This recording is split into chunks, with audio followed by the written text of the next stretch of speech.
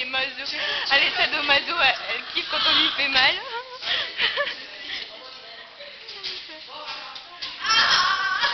Oui, ça, elle jouit d'avoir mal. C'est une sadomaso. Arrêtez les enfants.